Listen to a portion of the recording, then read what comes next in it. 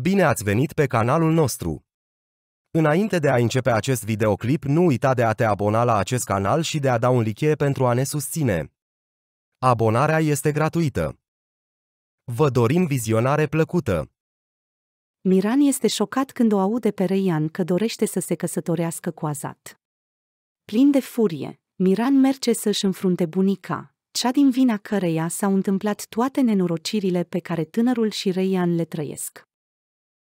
Azize este, însă, prea mândră pentru a-și recunoaște vina și, mai mult, ea este sigură că Miran și-a învățat lecția și că va rămâne alături de Gonul.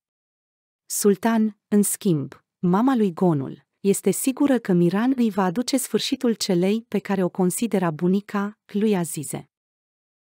Sentimentele puternice pe care le are pentru Răian nu-i dau pace cipeșului Miran și, contrar dorinței comune a celor două familii, Aslan Bey Sadoglu, ca tinerii să se despartă, acesta nu renunță la cea care i-a furat inima.